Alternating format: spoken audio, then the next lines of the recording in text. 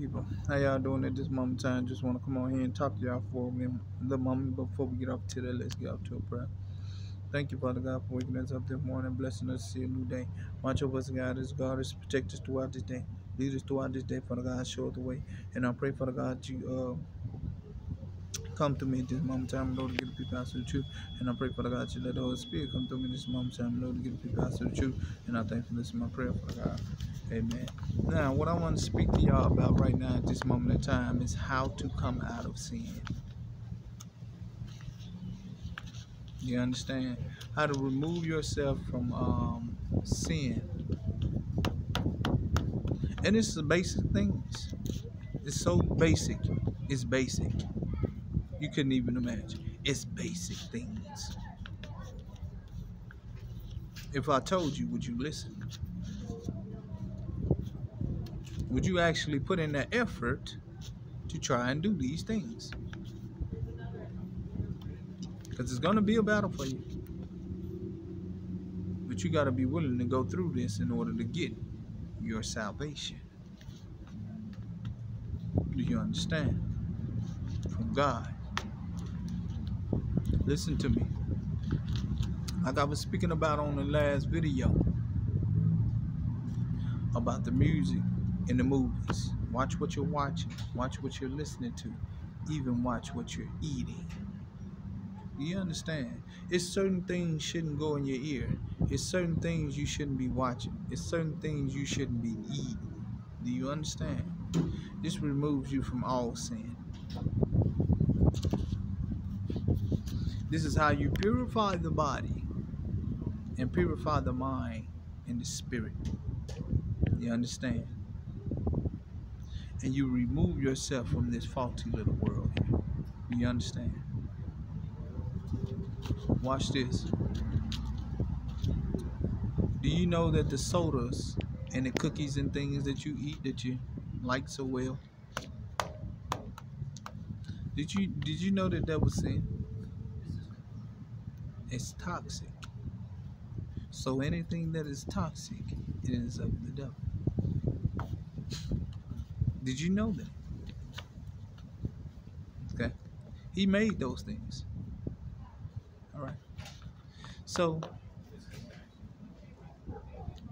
you have to remove yourself from these things cookies, candies, sodas, uh, chips, even chips. Do you understand? I know you might say, oh, it's a potato. Yeah, I understand. If you're gonna do that, go get you some uh, uh go eat eat something. Go eat some bread.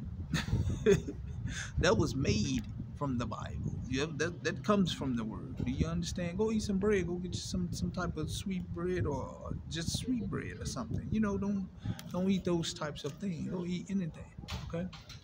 Um. Now.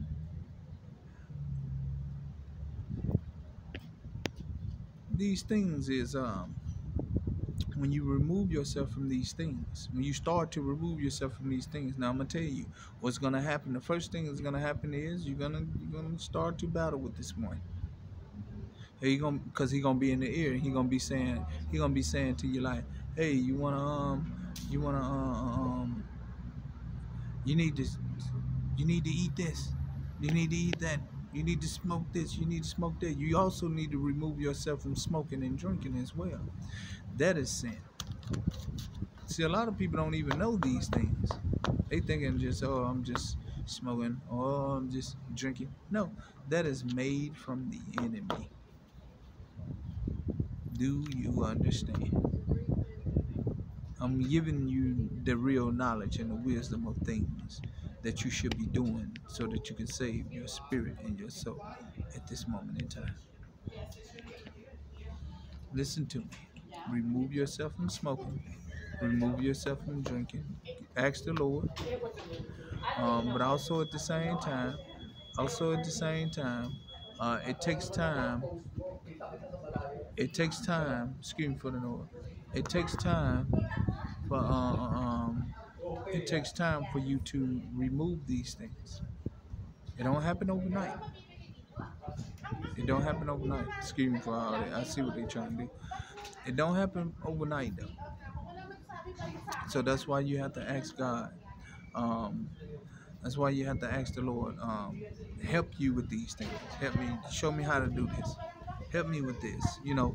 And when you ask him, and he's gonna show you, like, hey, okay, all right, since you want to do this, then you gotta also put the step. You have to put the effort in doing it. Once you make the effort in doing it, and he starts to see you doing it, then he gonna come right on. Hey, you need to do this. You need to do that, and I'm gonna show you how to do this and then you're gonna say, okay, all right, well then, and it, it, ain't gonna take him long. For what God is gonna do for you, what the Father is gonna do for you, is gonna remove you from that thing. You don't even have to go to rehab. You won't need it. He's gonna show you how to remove it. Like I said, it don't happen overnight, but it happens in due time with you making the effort of doing these things. And then you're gonna see, like, wow and then you're gonna notice after a while you're not even smoking or you're not even drinking no more. You don't even have, and then it's gonna get to a point where you don't even like those things. You can't even stand to be around it. then you coming into being what we become, what we call righteous. You understand? You're leading to that way. That is the narrow path to the gate.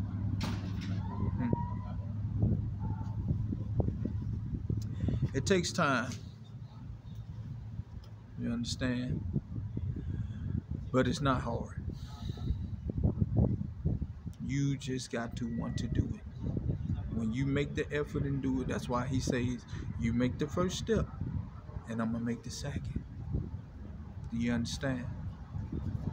This is what he means by that.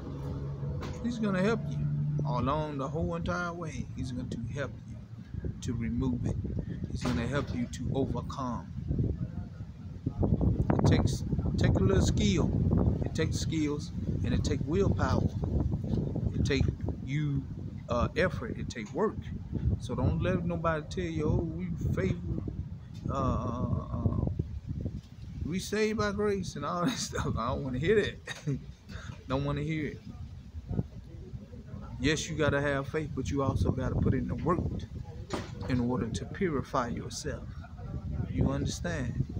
Pray and repent every day. Um, uh, remove yourself from toxic people, toxic things, and places, things, and toxic people. All sin. You understand?